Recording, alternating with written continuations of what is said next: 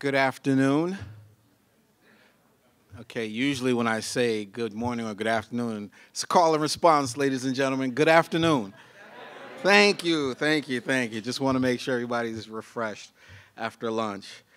So we're going to move along in our program. I have the honor of introducing the Forget Tech What About Humans session, which is going to be facilitated by Dr. Marie she's French. I can't pronounce the last name. Pibrahum. So.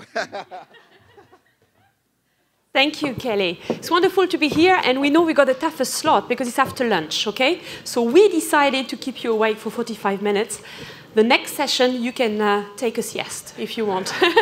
but uh, I'm Marie Puybaraud. Uh, I'm Global Head of Research at uh, JLL Corporate Solution, and I've got this wonderful panel uh, with me today. Uh, we have Kate uh, from the ANZ Banking Group, uh, coming from uh, all the way from Australia. Uh, Peter from EFM and coming all the way from Germany. Hala, who say that she was a little confused about nationality, but she's English and uh, um, and you feel also very, uh, very French, but you are uh, Lebanese from your origin, as you can see on your, you know, the way you look. So uh, from uh, PLP uh, architecture, because yes, you do look very Lebanese. And Jeroen, um, who come from, you know, the Netherlands and works at Edge Technologies. Uh, he was a senior VP for Edge Technologies in America. Okay, so five nationalities on stage, and as you can see, three women and not one American on stage. so we're very proud. We're very proud to talk about this topic of Forget Tech. What about the human? So I'm going to set the scene. Okay, I'm going to tell you what we want to talk about and what I've, I've tasked uh, this wonderful panel to also uh, talk about. Clearly, the question is a big, uh, you know, challenge, and we wanted to make sure that they addressed it at different level. So I'll do a quick introduction, and then I will invite each of them to give you a five-minute speech on their point of view about the place of technology in real estate, and what about the humans. Okay. After that, we want questions from you.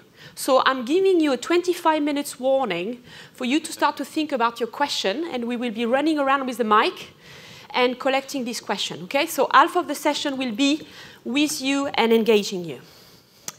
Okay, so forget tech. What about the humans? Um, the question was um, difficult to approach because uh, digital is touching everything we do into our life, professionally, but also privately. And in real estate, we've heard already that we've been completely shaken up uh, by um, you know, the world of uh, technology uh, invading you know, our life. It is overwhelming, uh, and we're not too sure if we are on the right path. I mean, certainly the presentation that Andrea gave us yesterday about the mass of technology entering our market is freaky. Okay, the conversation this morning about prop tech, the level of investment we need to look at is also quite freaky.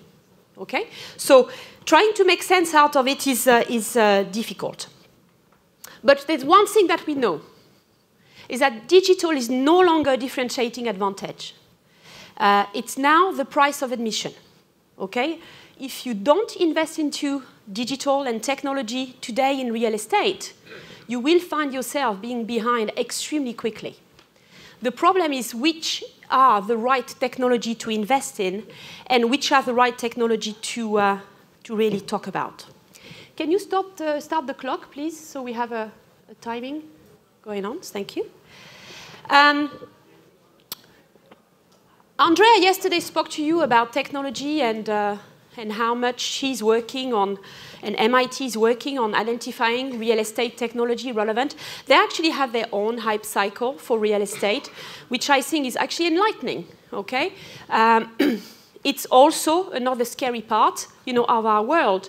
Um, and there's a lot of technology which are going to significantly transform the real estate industry and take it into new market uh, with the possibility of also to enter this new market with a whole array of a, a digital solutions which are going to transform the way we look at uh, managing a facility and operating it, managing finance, uh, input of data. It goes into quite a lot of direction. One thing is really disturbing, and she also mentioned about it, is 5G. And if you take, just take the rough history of the mobile phone and particularly how we came up to 5G, there's a lot to take in in terms of the transformation that one single piece of technology has put into our life and how it's going to start to impact you know, the real estate world. Now, I don't want to take you through the whole slide here because clearly you'll start uh, uh, on the year that I was born, 1973, okay, with the first uh, you know, cell phone. So 45 years ago, we saw uh, mobile phone entering you know, our life. They've evolved you know, massively, but it's only only in 2007, when the iPhone came you know, into our world, that things starting to be shaken up you know, massively. And at this time, we didn't even have 2G or 3G technology. Uh, so let alone uh, what we have faced with today, which is 5G uh, solution, you know, entering our, you know, our market. At the same time, we've seen, you know, at the bottom here of the slide, different ages appearing. The information age into the 70s and 80s, the social age with the GAFA uh, emerging uh, from 1998 onwards with Google uh, coming into our market. What I call the numerical age with the NATU and uh, the data you know, coming our way. Netflix, uh, Telsa, Airbnb, Uber was another revolution in terms of the way you know, we use technology of this kind. And the last one is the experience age and how you know, new market, new customers, and new players entered and starting to use technology very differently. Okay? So it's a wonderful uh, story wrapped around one single piece of technology, which is going to bring us some very significant changes. Here in red, 5G is going to be about gaming, face recognition, voice control, mind control, mobile payment, under-display fingerprint scanner, AI camera, pushed IoT, Okay, so the, the story around technology can go very far. And that's just one out of the hype cycle um, for real estate. So a wonderful example about how this piece of technology is going to change us. And we know that we have in front of us with things like a mobile phone also different type of users, different type, uh, different uh, you know, workforce. Um, talking specifically about the workforce, there are some again, very scary statistics, you know, coming our way. We will be missing 55 million workers. 55 million workers. Or we need to increase productivity by 54% by 2030. Okay? At the moment, the prediction, scientific prediction about natural increase of productivity are at 1.4% if we do nothing 1.4%. And, you know, so the gap that we have in front of us is actually quite significant. It's true that we are going to be, by 2025, half of us are going to be robots into the workplace. Uh, I think, again, Andrea and, and others have uh, insisted on this. We will be working side by side. We will share working hours uh, by 2025. We expect an increase, however, of 30% uh, in average output per worker due to automation. So there is definitely something which is going to drive productivity and performance when we talk about uh, you know, technology. The next generation of robot is going to be cheaper. Okay, it's around you know four dollar per hour against 36 in the US to actually employ someone. So the challenge is actually really high if you look at all the different facets that technology is going to bring. And with that, of course, the whole issue around reskilling. 54% of employees will need to be reskilled by 2022. It's a minimum of one month's training to reskill someone in a workplace. One month. Okay? So, things are changing. The world around us is changing. The workforce is also, you know, changing at, uh, you know, at the same time. So should we forget technology and just think about humans? Should we just concentrate on humans uh, and completely, uh, uh, you know, embrace uh, technology at the same time? There's a lot of different ways you can actually answer that specific question and really tackle it. Um, but at the end of the day, a workplace looked like this. Okay, human beings socializing, coming together, using a physical environment. I really like this photo, which I actually found on the internet. Okay, this is not one which I have taken, but which I could potentially take uh, on a weekly basis into my working environment. And I'm sure you could also, you know, take that type of photos very easily. Okay, because that's what it is. It's a place where human beings comes together, and being human, it's probably one of the strongest trend which we have on our roadmap looking at the future. And I've been saying this for the last 10 years. Mm-hmm. And trust me, 10 years ago, talking about being human, you appear like a, a real idiot. yeah. There was some doubt. But now it's really coming to reality, and we're going to hear it a lot. Because what I see that you know, we, we really went through four different wave of, uh, wave of uh, digitization. The first one concentrated a lot on driving productivity.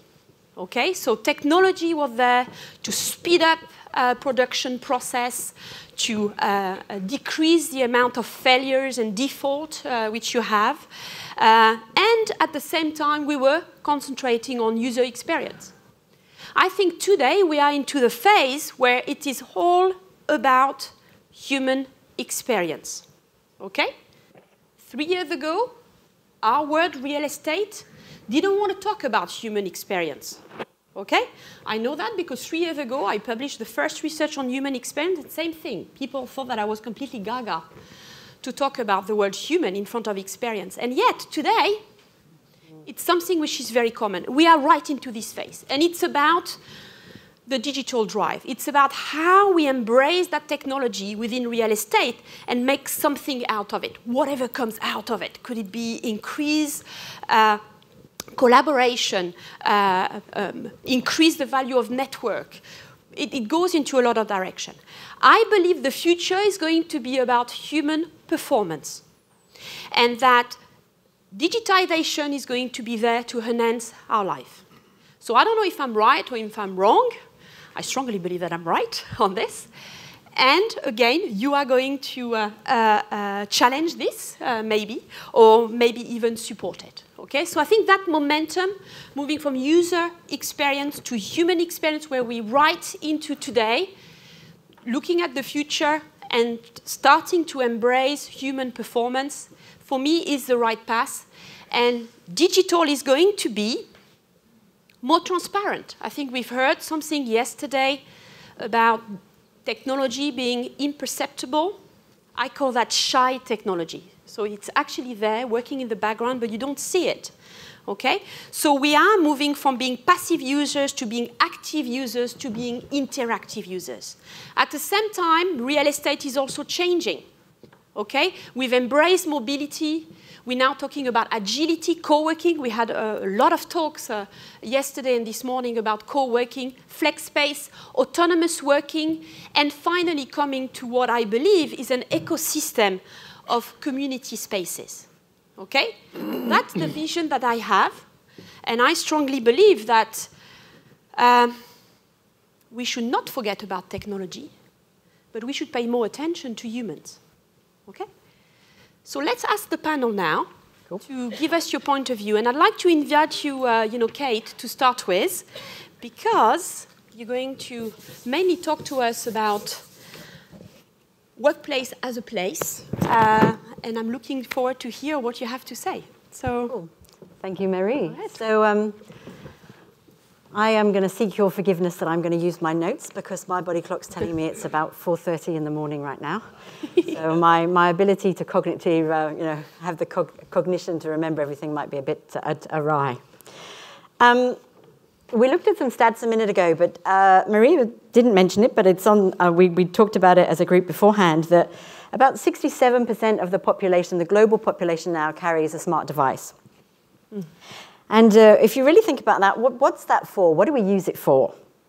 We're using technology to make humans, to make our human existence far more easy and far more convenient.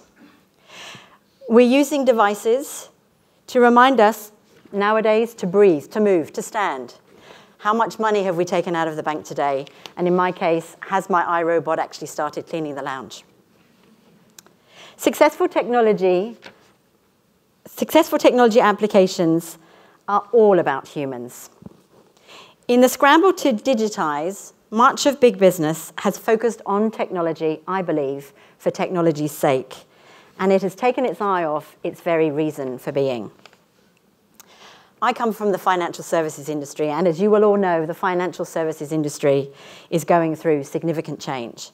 For those of you that watch international news, particularly in Australia, where the big bad banks have just been through what we call a royal commission, which was an exercise where the banks had to go um, and be present towards a judge and actually stand up for their culture and for their behaviours.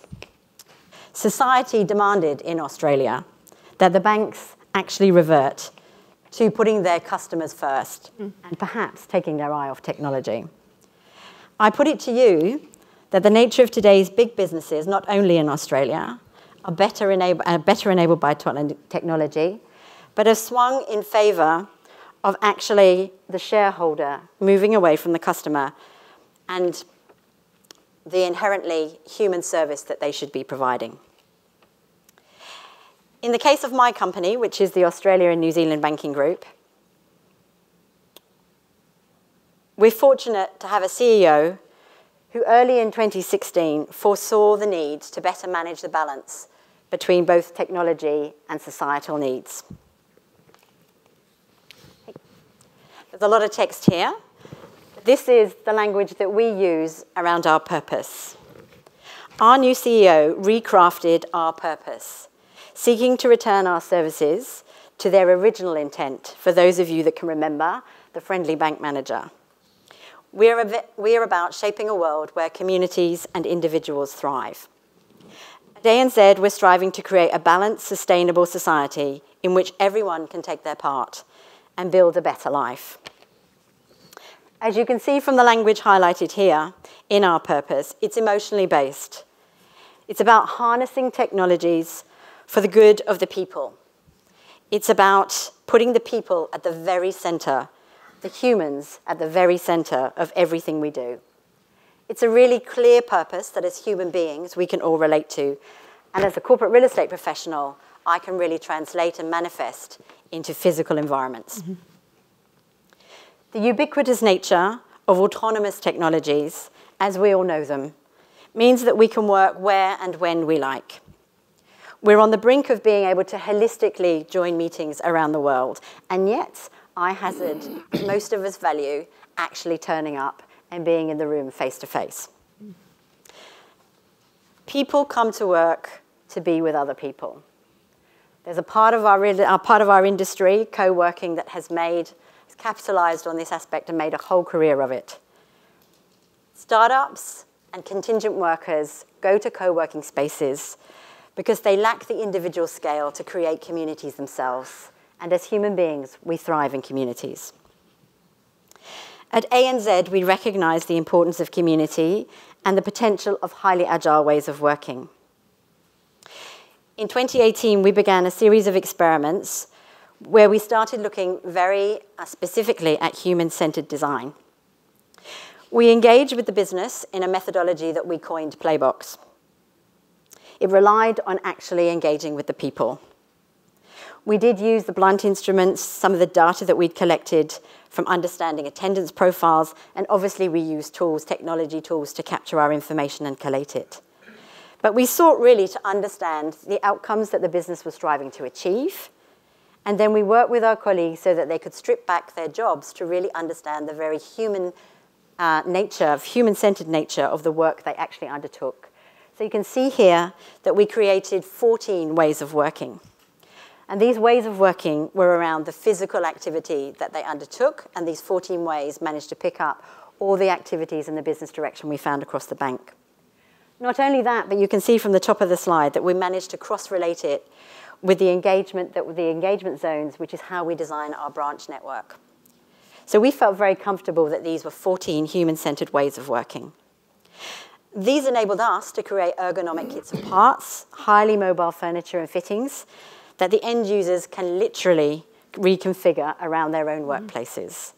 They can change their workplaces now to match the project, their organizational structure, or the ever, ever increasing demands of our customers, we can move to, to address them very, very quickly with the physical environments we've created. So technology has played a part, but it wasn't overt. And I would hazard that the human engagement was far more engaging and enjoyable for our end users. We've recently applied these learnings to our, a new space that we've created, so about 200,000 square feet, so 20,000 square meters in my language. And we're testing with Playbox at scale. We've tested it to date in relatively small scale on a business by business basis. The new environment has very little built form. Most meeting spaces are open or mobile, and we've found that these 14 ways of working can be accommodated that way. The building capacity is now one in eight. That doesn't mean to say that we're max packing our people into tiny little desks. It actually means that we can accommodate um, much more collaborative, freestanding, larger groups in working uh, in new ways. We're seeking to allow our communities within the bank to shape their workplace. We're reviewing right now exactly what we need to measure in this new environment. We're seeking to understand what technology tools should we be using to support this whole new way of working and this new approach, new approach that our people are taking. We need to understand what those data sets will be, and we need to really think carefully about what value they will bring, considering we've enabled the freedoms that we have amongst our people. I'm sure you'll agree with me that if people are happy, they tend to be productive. We've extended the physical environment to mirror our individual technological expectations. On my device, I can customize my life the way I want it. Why shouldn't I be able to do that in my workplace? Mm. And this is what we have striven to do. My ability to do so in unison with a bunch of my colleagues means that I can actually become far more embedded and feel far more part of my organization. I have a sense of ownership, of belonging, and more than anything, a sense of purpose. When technology and the environment couple to provide customized, productive solutions, the real estate team, my team, have the opportunity to really think about the other elements that enrich the everyday human experience in our work world. These can be the fun, creative, far more quantitative, qualitative elements of our worlds that will help us not only attract but also retain the talent that everybody is seeking that we're all short of. Yes, you have to have the right end user tools, I don't deny. Yes, you have to have building management systems that you can rely on to give you the right kind of efficiency in your comfort and uh, your safety of your work environment. But do you need, I hazard, many more bits and bytes? a human-centered workplace can become a differentiator in its own right. With work and life blending, the formality of work, as we all know, is changing. It's all about the humans. It's about providing workplaces that are fluidity, that are flexible, that encourage diversity, and that allow for the seamless integration of ecosystems and colleagues from other parts of partnering businesses. Today's enterprise needs to enrich the lives of the people it employs. Our physical environments, coupled with our intrinsically human emotions, create in us a sense of place and of belonging. Couple this with the ownership of ethical, with, with ownership and ethical purpose, and you have a business model in which, as humans, we can all relate and thrive. I there, so I therefore put to you that the real trick is to find the right level of technology to truly, truly support it. So I put to you three things that you need to adopt a holistic, cohesive purpose-driven approach to your human performance, to achieve your human performance. You need to design first and foremost with a human-centric lens, which is really thinking about what am I trying to solve for here. And more than anything, you need to ensure that your technology tools are specifically selected to enhance your mission and not necessarily to work against it in its own right. Thank you. Thank you, Kate. Thank you. Clearly, for a lady managing 1.4 million square meter across 31 uh, you know, countries, there's a lot to be told about uh, how you uh, develop all those new suite of environment at uh, ANZ uh, Banking Group. Um, so, on that point on technology, Peter, um, could you step in and tell us um, how technology is changing the world of real estate? You've been doing that since 1996, uh, a pioneer in the digitization of real estate and FM and one of the founder of the Peter Drucker Forum, isn't it? So we're looking forward to your talk. Thank you, Marie. Okay. I would like to move on from Karen to a very different vantage point, and I would hope that uh, you will follow me part of that way, in your minds, possibly in your hearts. Another one. Um, conferences like this are quite often about trends. You need to put trends in titles. I, for one, am much more interested in principles. Because principles move us forwards and not trends. Let's see. Um, and uh, if I look at the principle of technology, when did it start? It started not with life on Earth, but it started with human life. Human life, or humanity, and technology are inseparable because humanity used technology to separate itself from nature. And by the way, uh, that's also when humans started to think about God. So uh, it's it together. God, certainly, for those who believe in that, is principle. It's all principle and no trend. Uh, if we look at the opposite of that, uh, and there I'm quoting my German countryman Johann Wolfgang von Goethe, who lets his Mephisto say, uh, Ich bin die Kraft, die stets das Gute will und doch das Böse schafft. I am the power, which always wants good, nevertheless always creates evil. who are the Mephistos of our times? Who make, who make these Faustian promises? Who give us these Faustian temptations? Is it Google? Is it, to a high degree, maybe Facebook? Um, one of the biggest disruptions in human development certainly was the Enlightenment. The Enlightenment, for the first time, created the principle that reason should stand above belief.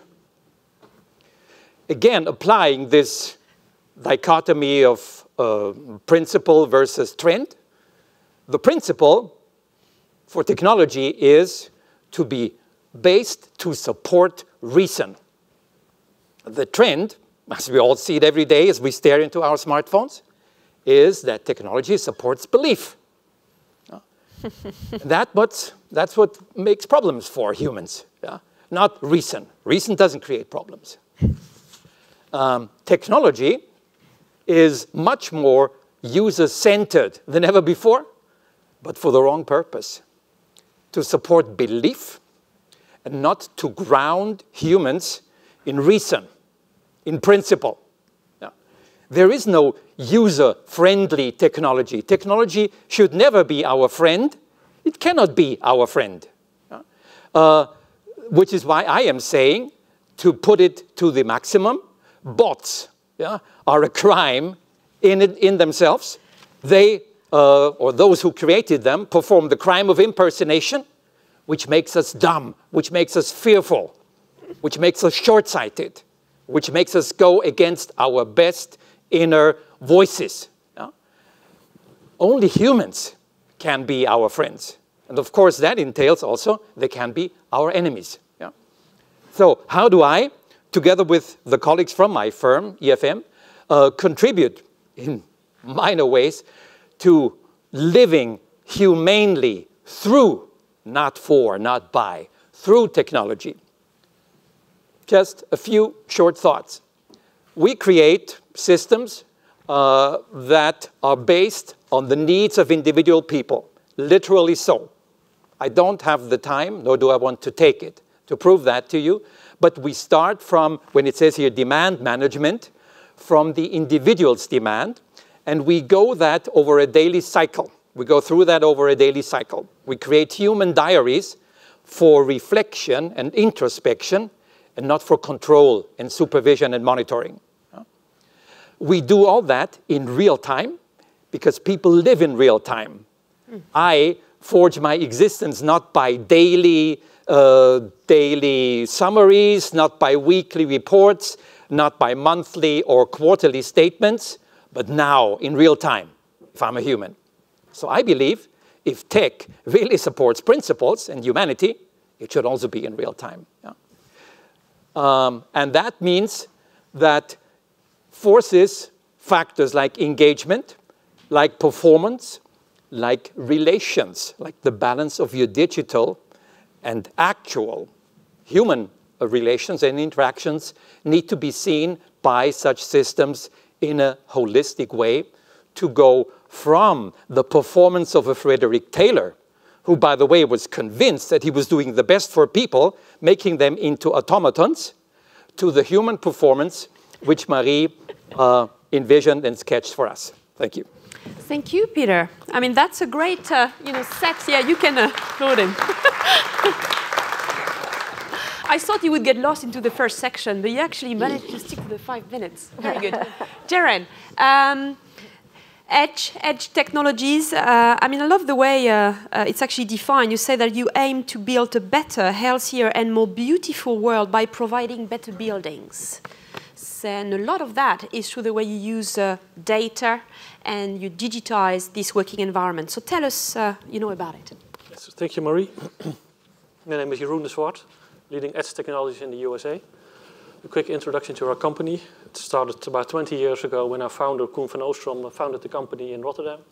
Right now we have offices in Amsterdam, Rotterdam, uh, and uh, spreading out uh, across Europe, Berlin, Hamburg, and also an office in New York. We develop commercial office buildings, and the Edge building, I'll get back to that later in Amsterdam, is one of our developments in 2014. We believe that the world needs better buildings. That's our mission. And that's because of two reasons. Uh, we believe we can do better with respect to sustainability. About 40% of CO2 emissions come from the built environment. And 85% of the workers are not engaged. And we believe we need to do better. So our mission is, that's why we stand up every day, the world needs better buildings. We try to do that in a holistic approach, integrating well-being, sustainability, design, and all powered and supported, I'll get back to that later, by, by technology. Uh, what I want to show you what we learned from the first generation of edge buildings, 2014. Edge building in Amsterdam, developed for Deloitte. Was then the smartest building in the world and still one of the smartest buildings in the world. And where we are now, we just opened a new edge building, Edge Olympic, also in Amsterdam. Between in all those years, what we really learned is how you go from data to information to optimization. And that's the journey, that's the journey we're actually on in the edge building in Amsterdam, we gathered a lot of data, but when, then we started the journey how to optimize it and use it in a way to come up with better buildings. Uh, now I'm going to focus on well-being and show a, a, couple of examples how we do that to create a better, better building and in the end a better, uh, a better workplace for people.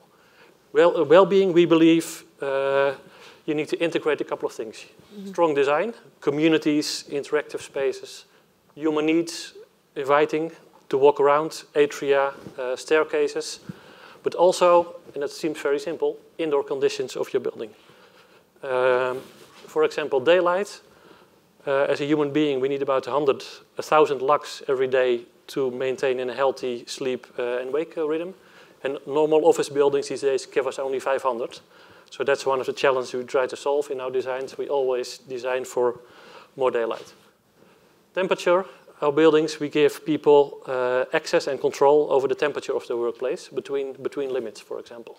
Noise, and I will get concentrate a little bit on air quality, which seems kind of obvious, simple, but to implement that with technology mm -hmm. is not that simple. this is a picture of our first project in the US, the Unilever headquarters in Englewood Cliffs. We redeveloped 330,000 square feet, and we implemented 15,000 sensors in that building where we measure occupancy, uh, humidity, temperature, CO2 levels, noise levels, and with all that data, we try to optimize the building. Gives you also a little bit of a flavor of the design we like to, we like to implement, uh, encouraging people to meet and walk around. One of, the one of the measurements we got out of all this data is CO2 levels in meeting rooms. And we were really surprised and kind of shocked how many meeting rooms actually reached CO2 levels above 1500 ppm. And 1500 ppm, your brain starts to function like you have been drinking three and a half glasses of wine. So what we have been doing over time is try to optimize CO2 levels in, for example, meeting rooms, increase ventilation rates and measure it, and give tenants dashboards where they can real-time look at the CO2 levels, for example, and temperature in the meeting rooms and intervene in those. So in this way, we try to use technology to enable better buildings and enable a better workplace. Thank you. Mm. Really great. Thank you, Jeroen. I mean, it's a great example about how you know digitization can actually help to understand how the fabric of a building functions, but also the impact on, uh, on human. But a building is also weaved within uh, an urban landscape, and we've asked you, Hala, to uh, come in and tell us a little bit more about uh, how this all fit within the context of a, of a city. Um, I really like the way uh, PLP is looking at the, you know, the future of architecture. You're saying that it's all about rethinking the responsibility of architecture as an actor in the environment. So show us how technology fit into all of this and how it's impacting human. Thank you, Marie. Um, so one thing that you talked about at the beginning of your presentation, uh, actually half at the end of your presentation, was creating uh, ecosystem of, of, of, users, ecosystems of community. And this is very much at the core uh, of our work. And this is precisely why we uh, started our lab, which looks at a new dimension of integration between people, technology, and places. Um, and in the last 10 years or 10 years old, uh, we've seeked throughout each one of our projects, the Edge in Amsterdam being one of them, to understand how people interact and live and how this is evolving and how the built environment can respond to that. Um, I've chosen four examples here. Um, which have tried to do that. For example, the Francis Crick Institute, which is the, larger, uh, the largest cancer research center in Europe, uh, tries to take actually the scientists out of their labs, um, bringing them into that central space, but also bringing the public into a building that normally does not allow for that. Um, Sky Central, which is the headquarters of Sky TV uh, in the UK, is a very inward-looking building mm. because of the nature of it. So we've introduced that internal street, which has a number of amenities from the city brought into the building itself. I won't talk about the edge again because you just did your own. And uh, 22 Bishopsgate is the tallest uh, tower in the city uh, in, in, London, and it will have a community of about 11,000 people. And we've brought these amenities up through the building and distributed them. Each one of these responds to a set of principles. Mm. Um, so uh, whether it's health and well-being, sustainability, uh, placemaking, uh, and leisure. And what we see is precisely what you've talked about, the growing importance or the growing of the, of the well-being agenda. And we think it's because the correlation between well-being and uh, creativity and performance uh, is more and more established, and this agenda is therefore being pushed further ahead. And technology is, an, is a tool to help us activate these within, within the spaces. And uh, what remains the most important thing is stays the basics that we've been talking about um, since Roman times, which are the essential qualities of a space. But looking at these in more detail and with the data that we're able to look at now, three questions uh, emerge, and I'll try through my next slides to address them. Um, so the first one is, uh, what do we do when human comfort, which we're really trying to design for, is not compatible with what's good for the planet? How do we mitigate that? How do we change our habits? Um, in, in a context where uh, legislation takes time to change and evolve, how do we conceive better partnerships with the public sector precisely to be able to drive that in a, the right direction in a responsible way? And the last one, with us being able to understand what is bringing values, value to our cities, what people like, what people respond to, how do we then put uh, investment towards that? And if it means changing uh, the way we think about investments generally. So um, the first one is thinking in constellation uh, or an ecosystem rather than in isolation. I'll give one example. In London, we don't have zoning like you do here, but we have land use categories which were established a very long time ago and maybe revisited once, I think about 50 years ago which means that we're not allowed to, we can't overlap uses on, in the same space, and um, and we, we can do it, but not in a very nimble way. And we, we are missing land uses. It's only recently, after uh, working with the collective who presented this morning uh, on the first co-living building in London, that a co-living um, a co-living category or discussion is introduced in the London plan. So how, how, how uh, the, the, issue with this, the essential issue with this is that we are not being able to use the space in the most efficient way. We're therefore replicating space and building more, which is not necessarily very good for the mm. environment. So it's not the most, the best use of land. The second thing is early meaningful engagement. Having conducted a number of consultations, uh, of community consultation, which happen in the context of planning in London, they happen from 3 to 5 on a Tuesday afternoon. So we end up having not having necessarily the active members of the community. Young professionals often don't attend these. We end up with a lot of lovely old ladies, but that is not representative of, uh, of the community. Uh, there's a really young, interesting uh, startup led by a lady called Savannah de Savary, looking, working with local authorities in London and a number of developers on creating tools to, to enable more members to be able to participate in these. The next point is neurodiversity. We, we talk about big, um, bright places being the, the, the best thing for creativity, but we're seeing that different people actually behave differently in different places and uh, sometimes a smaller, more intimate place with a bit of a dim light has a better impact. Mm. Same story with Open Plan. We've been going on and on about Open Plan, and now we're like, that wasn't a, such a great thing after all. So how can we design spaces that reflect that neurodiversity?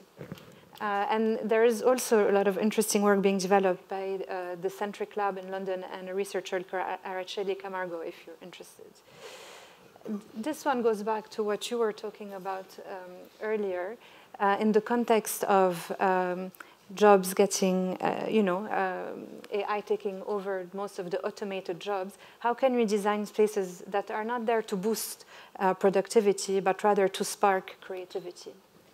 And last but not least is culture. And by culture, I mean cultural infrastructure. So not only a, a museum or a place of consumption, but place of production. It can be an artist studio, it can be um, a rehearsal space, uh, uh, and so on. These are things, these are places that make, that make us want to be um, in certain cities and occupy them in certain way and appropriate them, so make them successful.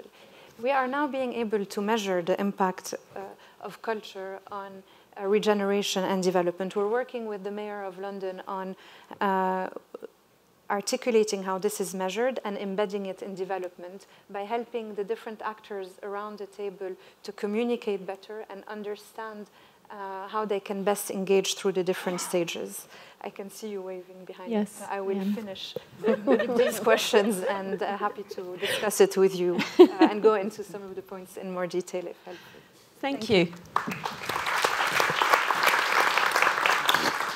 So we've heard a lot. Uh, we started with uh, you know workplaces, uh, creating ecosystem of uh, communities for humans to network, and you've demonstrated that. Peter, clearly technology is the enabler and its role is uh, evolving to empower people to uh, uh, express uh, you know, themselves. I think that link between people and technology is really important. The edge, I mean, data is a brain of real estate. Uh, we heard this morning about data being the new oil, and I think that's uh, what the edge is, has been doing. But digital is also the, the blood and the nervous system uh, uh through uh, building and cities, and probably soon through humans uh, with the evolution of, of technology.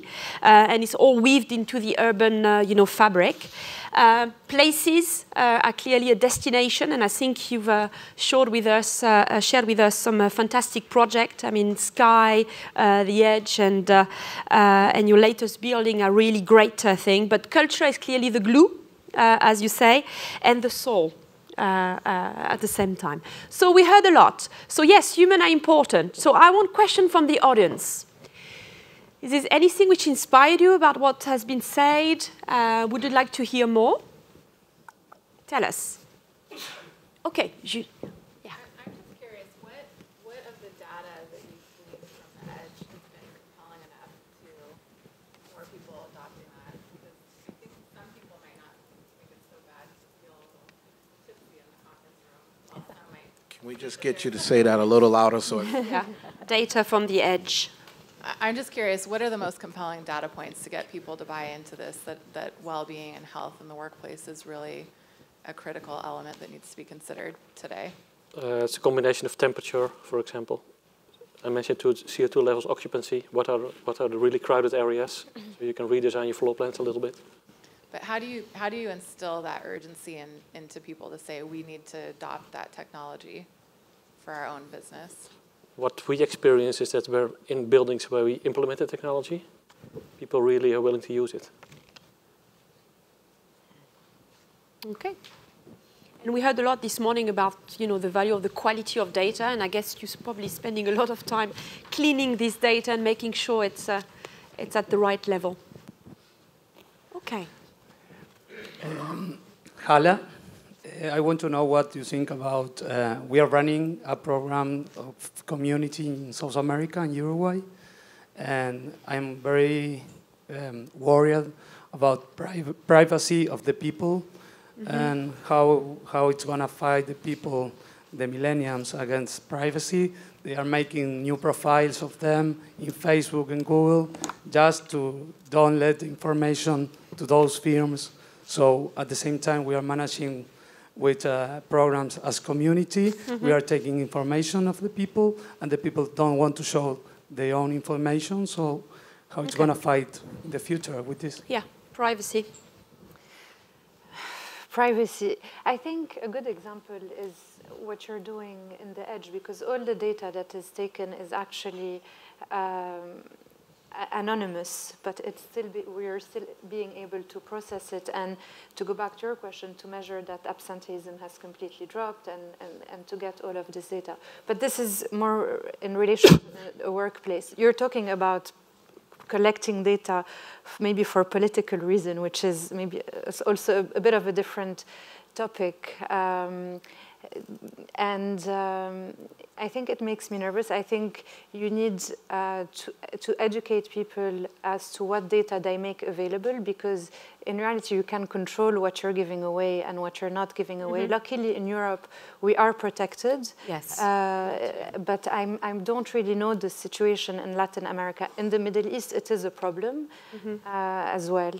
And I'm sorry it is, Peter, but maybe you want to say uh, If I, something. if I may add to that, um, if you generate data and make it available, first of all and foremost to the humans who are concerned by it, yeah, uh, data becomes more fleeting and the need to record it yeah, for posterity forever becomes less demanding. You either react in real time or it's gone.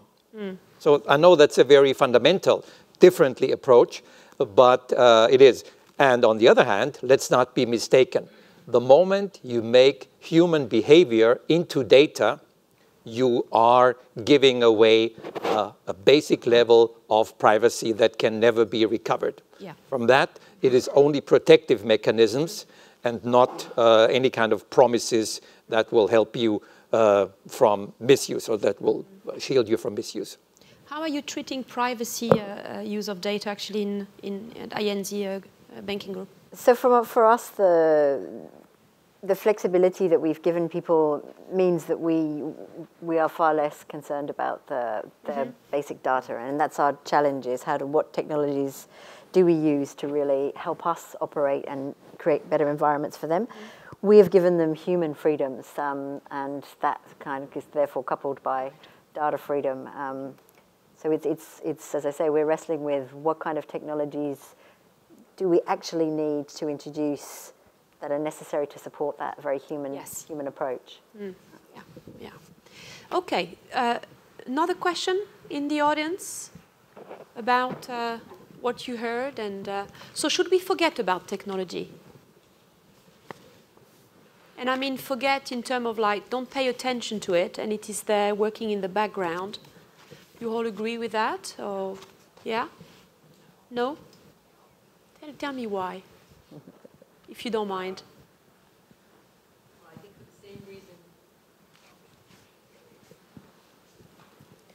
Thank you. I think for the same reason that privacy and um, public good have to be weighed and balanced, we all have to be cognizant of the fact that we all, I'm sure everyone here has a smartphone on them. Uh, we all are being tracked. And so I think you can't forget about it. You have to think Yeah. about it. Digital privacy or health information, all, all of that is, is part of our world. It's part of our children and our grandchildren's world. And so, no, I don't think so. But I, I think we have to be ethical about it. And I think ethics, we didn't talk about this in this panel today, um, but the displacement of workers, and when you think about that, the person who has maybe a high school education or not Yeah. even that, what kind of job will that person be able to do in the new world 20, 30 years from now when all of these truck driver jobs and other jobs aren't there for them? I think we all have a responsibility. I, I, I see either evolution or revolution. And if we don't manage it well, and I mean everybody in this room, if we don't manage it well, it will be I sound like a political statement here. I don't mean it to be that way, but I think inequality will only grow, and disenfranchisement will only burgeon. And I think uh, I think it's upon all of us to to think about that and make sure that the benefits that we all enjoy because we are educated and live in great mm-hmm. countries, we have to make sure that other people who don't have the same advantages can take advantage. And mm. technology will help with that. So no, I don't think you can separate the two. So uh-huh. how long how long should we take should we give to our industry to actually come to a, a level, a model whereby we are in control of all the data and the technology that we put into our facilities? And as you say, the ideal scenario would be like ethically, you know, compliant, and you as a user can choose what you give or don't give, uh, and what you take and, uh, and, and and put aside. I mean, are we talking about a five-year time frames or beyond five years? So with for in less than five years, we'll be in full control. Okay, cool. More than five years to be in full control of our data. Yeah, panel.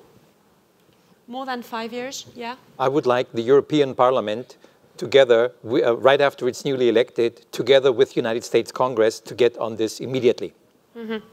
This is a cross-continental issue. This is not a national issue. Global, who knows? Cross. Let's. If these two uh, entities start working on it now, now, and not in five years, we may see some progress within five years. Yes. Yeah. Good. Okay, look, it's a break. Thank you very much. So let's not forget about technology. It is there. It's there to stay for a very long time. We do need to take control of, of course, data, whatever way this is done, uh, uh, either uh, through regulation or through, you know, self uh, self control and, uh, and uh, ethics. But it is all about the human, and I think we got a demonstration today that at a micro level within workplace, uh, through you know the way you look also at cities and uh, and places as a destination, uh, it's uh, equally important. Human should be your first uh, priority, and being human is definitely how there as one of the most uh, and strongest trend, Peter, that we have on our roadmap. So thank you very much, and be happy to interact with you during the break. But thank you for.